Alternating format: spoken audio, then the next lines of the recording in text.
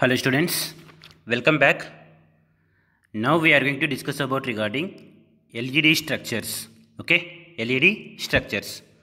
So in previous class we discussed about regarding LED, right? So LEDs are used in multi-mode fibers, right? Light emitting diodes are used in multi-mode fibers, right? And that can produce the incoherent optical power. Okay, that can produce incoherent optical power, right? So these LEDs are having less complex circuitry, okay, less complex circuitry than the laser diode, okay. LEDs require less complex circuitry than the laser diode and they are less expensive compared to the laser diode. The LEDs are of less expensive, right? So these LEDs can be used in high speed local area applications okay these leds are used in high speed local area applications right? So that thing we discussed in last class right? And it is having pn junction right? So the from that pn junction the electrons and holes will recombine with each other right? From the valence band to sorry connect band, conductance band to valence band the electrons are going to recombine with the holes in valence band. So at that time the photon will be released at that time the photon will be released right? So like that the light can be produced from that led clear? So that is up to the last class okay? Now coming to the led structures okay? So the widely used configurations okay? The widely used led configurations are homojunction and single and double heterojunction okay? The widely used led configurations are homojunction and single and double heterojunctions. So here the most effective of these structure is double heterojunction. Okay, the mostly wide used the structure is double heterojunction.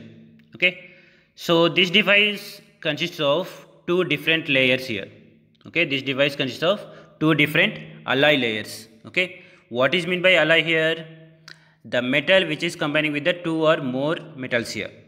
The metal which is combining with the more two or more metals. So that is called as alloy here.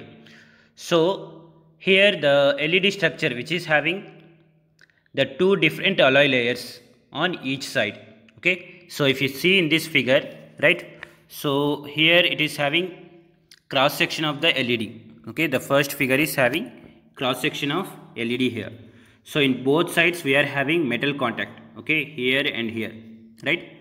So it is having both sides metal contact right?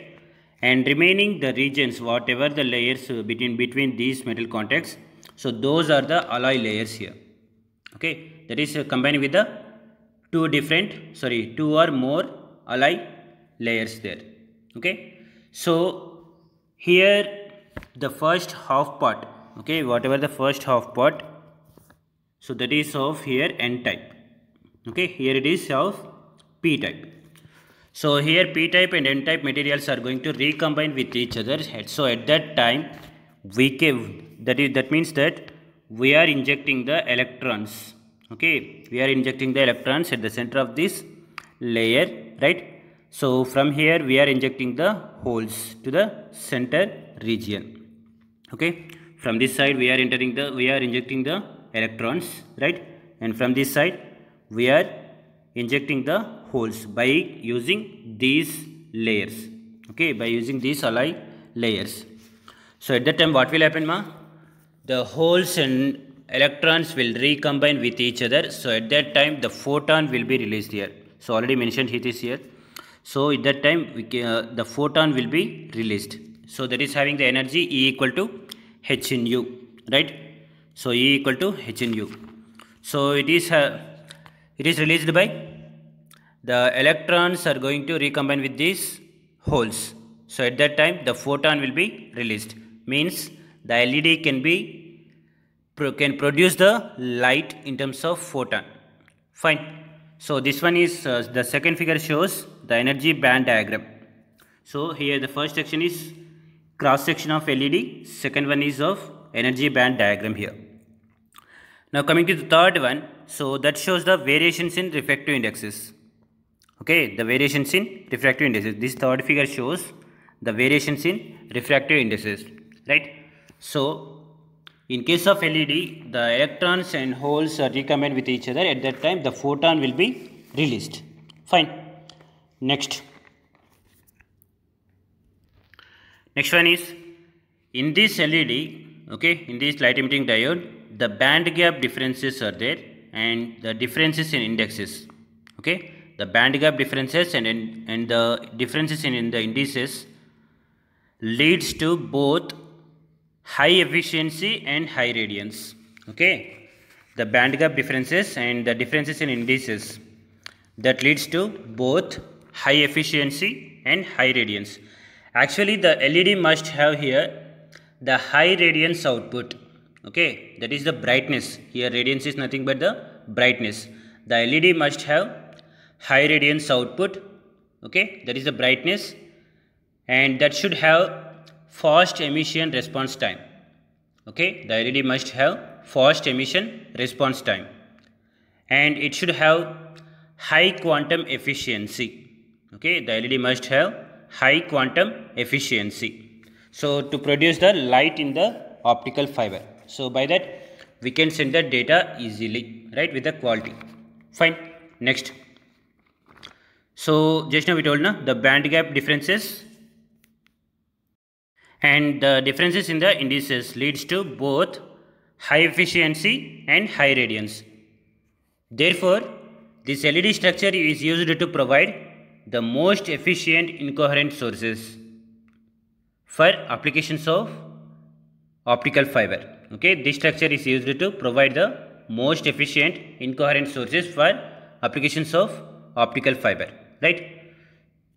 Next the basic led configuration okay? The two basic led configurations are used for optical fibers are first one SLED that is surface emitting led okay? Surface emitting leds that are also called as Burrus okay? That are also called as Burrus and also called as front emitters okay surface emitting is also called as Burrus and another is it is also called as front emitters and second one is edge emitting LEDs. So there are two types of configurations over here. First one is surface emitting LED, second one is edge emitting LED. Now coming to the first one that is of surface emitting LED. So in this surface emitting LED, uh, the plane of the active light emitting region, the plane of active light emitting region is oriented perpendicularly to the axis of fiber. Okay, in case of surface emitting LED, the plane of active light emitting region is oriented perpendicularly to the axis of the fiber.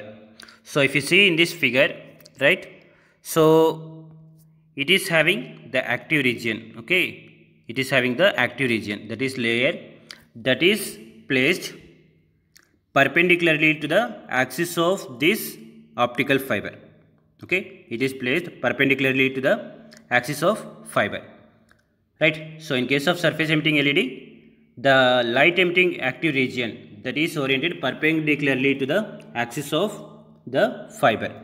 Fine. So in this led the well is etched here. Okay in this led the well is etched here. So this one is of the well right? So in this the optical fiber is placed here. Okay. Why? Because to get the light into the optical fiber. Okay here the well is etched into the form into this led right? In this well the optical fiber is placed here. Fine. So why? Because the light which uh, which has to be coupled into the optical fiber okay the light has to be coupled into the optical fiber. So hence it is placed in the well here and that is cemented here. Okay. So by this the light which can be passed through the optical fiber. Next, in this surface emitting LED, the internal absorption is less. Okay, in this LED, the internal absorption is less and the reflection coefficient is high. Okay? In this LED the internal absorption is less and the reflection coefficient is high. Hence the forward radiance is good here.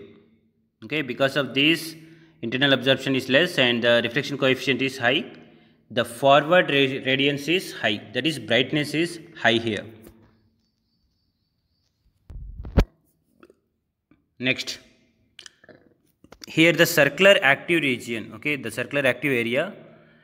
In practical uh, the surface emitter is normally of 50 micrometers in diameter okay. The circular area it is of 50 micrometers in diameter and up to 2.5 micrometer thickness okay. The diameter is 50 micrometers and up to 2.5 micrometers is thickness. Next the emission from this active area. Okay the emission from this active area. Okay that is of having 120 degrees half power beam width okay that is having 120 degrees half power beam width so the total HPBW that is of the half power beam width of it is of 120 degrees. Okay this pattern from this surface emitting LED is called as Lambertian pattern. Okay whatever the pattern coming from this LED right that is called as the Lambertian pattern. So in this pattern the source is equally bright when viewed from any direction. Okay in this pattern the source is equally bright when viewed from any direction. So because the total half power beam width here 120 degrees. Fine next. The total power coupled into the multimode step index fiber. Okay the total power coupled into the multimode step index fiber that can be given by this relation. Okay pc is equal to pi of 1 minus r into a into rd of na whole square. Okay pc is equal to pi of 1 minus r capital a rd into na whole square. So where pc indicates the total power coupled into the fiber. Next r is the fractional reflection coefficient. Capital A is emission area of source. Okay? Next RD is the radiance of source. Radiance is nothing but here brightness right? And numerical aperture. Okay? NA indicates the numerical aperture. So this one is the relation for the power coupled into the multimode step index fiber fine. So that is regarding surface emitting LED so it is one of the type in two LED configurations okay? The two LED configurations are of first one is surface emitting LED second one is of edge emitting LEDs so that is regarding LED structure. So in next class we discuss about regarding edge emitting LED okay? Thank you all. Thank you